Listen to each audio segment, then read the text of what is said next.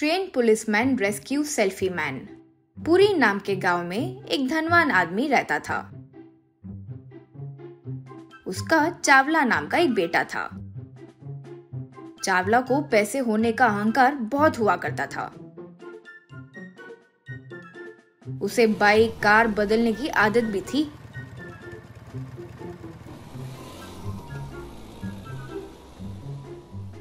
नई कार खरीदते ही वो पुरानी कार को गाँव के पास वाले पहाड़ से नीचे ढकेल देता था।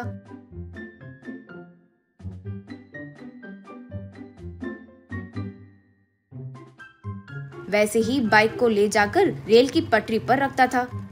ट्रेन आकर मारते ही बाइक टुकड़े टुकड़े हो जाती थी।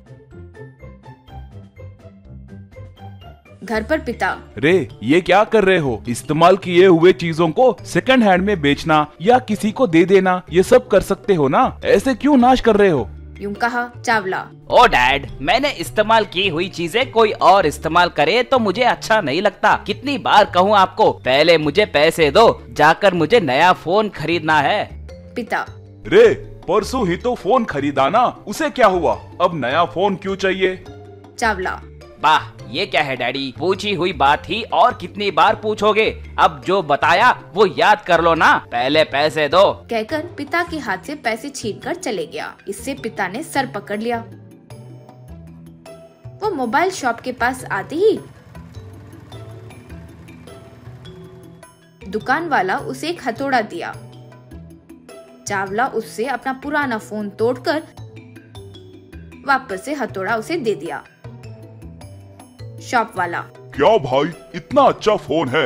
किसी को बेचोगे तो अच्छे पैसे मिलते ना। वैसे मेरी बात आप क्यों मानोगे भाई? मेरा काम बस हथौड़ा देना नया फ़ोन दिखाना। वही तो है। ये लो भाई लेटेस्ट फ़ोन इसमें सेल्फी निकाले तो बहुत अच्छा आता है सुना। सेल्फी कैमरा को 100 मेगापिक्सल दिए भाई। दाम पचास हज़ार है। कहकर फ़ोन दिखाया चावला। शाबाश रे ये मुझे बहुत पसंद आया। आने वाले हफ़्ते में एक और अच्छा फ़ोन मंगाओ। कहकर पैसे देकर निकल गया।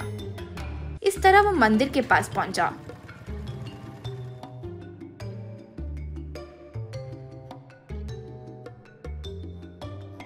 वहाँ भिखारी से सेल्फी लिया।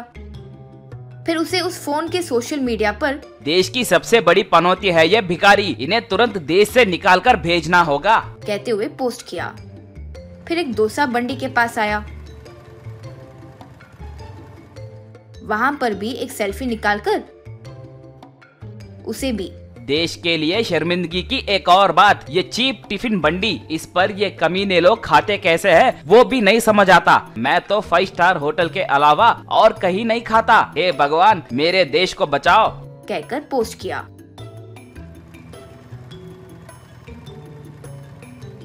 फिर उस तरीके से बस स्टैंड रेलवे स्टेशन में सेल्फी निकालकर मन में आए वैसे अपमान करते हुए पोस्टिंग करने लगा।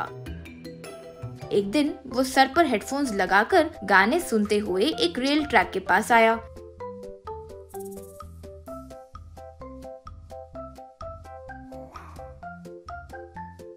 उसके ऊपर खड़े होकर सेल्फी लेते हुए। आहा क्या क्वालिटी है? वाह आज कोई तो नीच कमेंट डालना होगा। हम्म क्या डालूं? हाँ ये हेडफोन का दाम कितना है? और कैसे ये गरीब कहीं के नहीं खरीद सकते? ऐसे बताऊँगा। सोचकर फिर से सेल्फी ले रहा था। इतने में दूर से उसके पीछे एक ट्रेन आ रही थी। वो उस पर गौर नहीं किया और सेल्फी निकाले जा रहा था।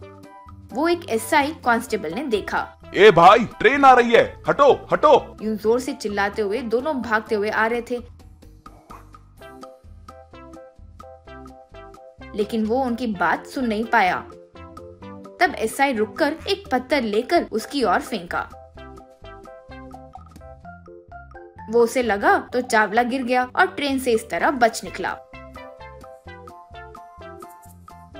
चावला। एस आई जी बहुत थैंक यू जी। आपने मेरी जान बचाई अब मैं निकलता हूँ। यूँ कहा एसआई रुको रे कहाँ जाओगे? चलो स्टेशन जो दंड तुझे मिलना चाहिए वो तो मिलेगा ही ना।